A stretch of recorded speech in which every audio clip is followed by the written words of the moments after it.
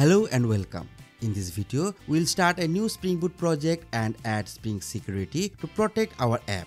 I'll show you how to use the Spring Initializr, pick the needed parts and set up everything in an IDE. Then we'll see how Spring Security gives us a login page right away and I will show you how to create your own username and password. By the end, you'll have a simple but strong start with Spring Security. Let's begin.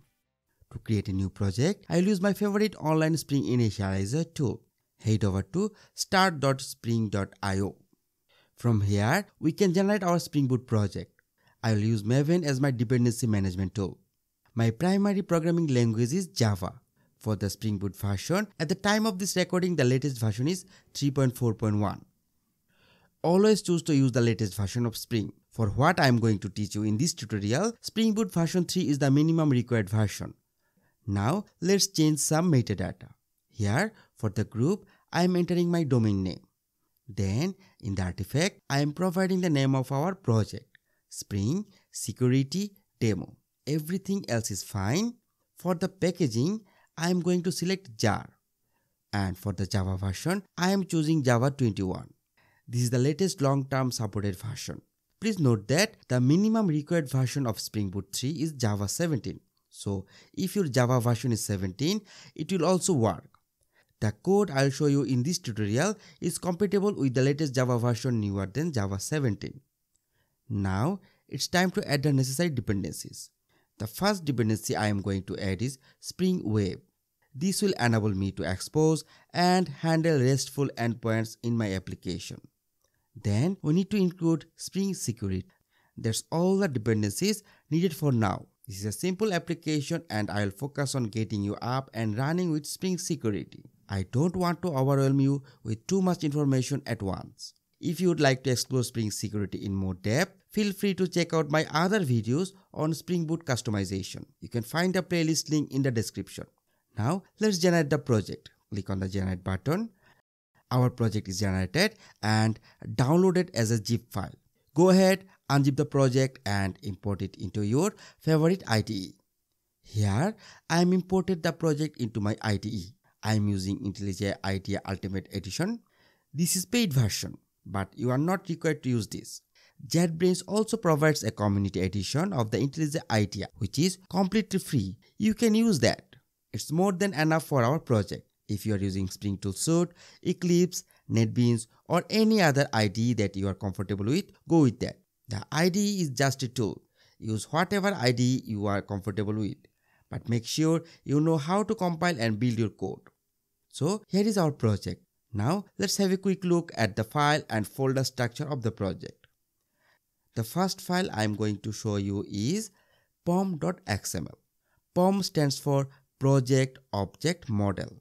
This is the file that contains the necessary information about our project. Here is the Spring Boot version then we have the project metadata that we have defined earlier while creating the project. This is our group name, the artifact ID, and the name of the project. Then we have the dependencies section where all the dependencies are defined. We have included only two dependencies here. This is the dependency for Spring Security and this one Spring Web. Then we have Spring Boot Starter Test dependency that is added by default.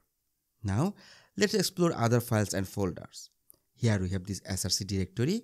Inside this, we have two subdirectories, main and test. All the test files that we write for testing the application will go into this test directory. It already contains a test class, Spring Security Demo Application Test. We are not going to do any testing in this project. So let's close it for now. We have this main directory. Our main source code will go into this main directory. Here we have two subdirectories, Java and resources. Let's expand this resources directory.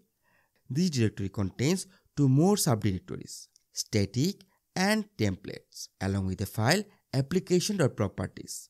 The static directory contains static resources like images, CSS, and JavaScript files. The templates directory holds the HTML files. And this application.properties file holds the necessary configuration of the application like your database credentials, OAuth or server settings. Now check this Java subdirectory. we'll put all the Java code inside this Java directory. Here we have this root package.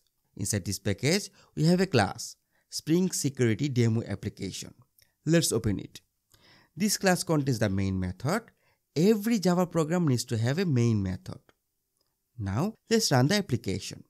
We can run the application by clicking on this play icon beside the main method or we can click this play icon beside the class name. Alternatively, we can also use the play icon at the top to run the project. Let's run it. Here is an error. Update module SDK in project settings to 21 or higher. I had a project that was built with Java 17, so I set my IDE to use that version. So I set my IDE to use that version of Java. But here, for this project, I am going to use Java 21, so we need to change the SDK. Let's do this. Open the project settings.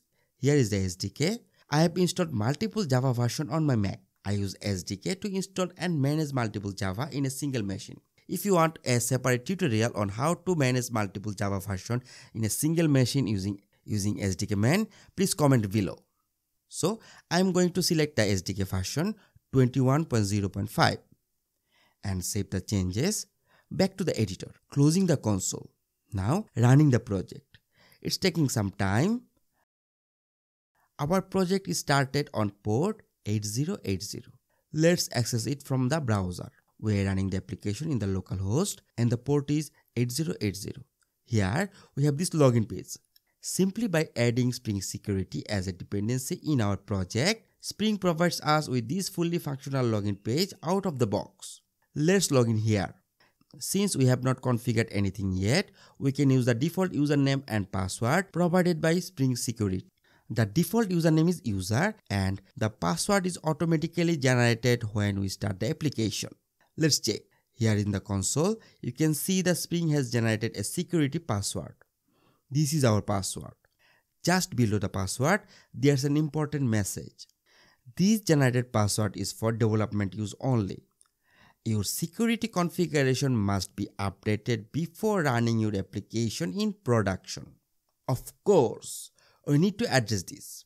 The password is auto-generated and will change every time we restart the server. We cannot use this default user and auto-generate password in the production. To handle that, we need to customize Spring Security to use a username and password stored in the database. However, for this basic getting started tutorial, this setup is fine.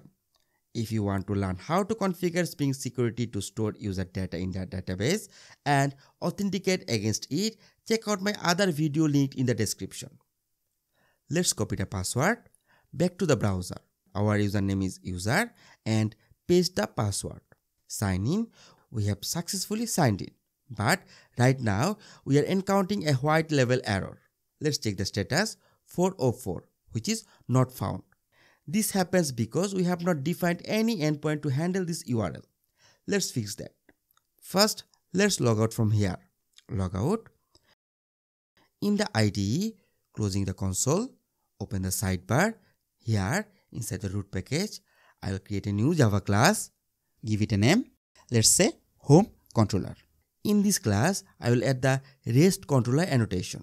This annotation makes the class act as a REST resource, allowing it to handle HTTP request. Next, we need to define a method that will execute when a specific URL is accessed. Let's define the public method that returns a string. We'll name the method say hello and it will return the message hello world. To make this method act as an endpoint, we need to map it. Since it will handle GET request, we'll use the GET mapping annotation. Inside the parenthesis of GET mapping, we'll specify the endpoint URL. In this case, it will be root URL. Now, let's restart the application. Once the application starts, you will see the newly generated password in the console. Copy the password, then go back to the browser. Enter the default username which is user and paste the copied password. No, I don't want to save the password. We have successfully signed in and here you can see our hello world message displayed. Now let's make a small configuration change. Instead of using the default username and auto-generated password, we'll define our own custom username and password. Closing the console, also closing the tabs. Opening the sidebar, here from the resources directory, open the application.properties file. This is where we can configure various settings for our application, including defining a custom username and password. We can define our username using spring.security.user.name. Let's say our username is admin and the password is spring.security.user.password. Giving a dummy password. Now let's start the application. Opening the browser, refresh. Here in this login form, provide our newly created username and password. Our username is admin and giving my password. Sign in. So we have successfully signed in. Of course, this setup is not the most secure.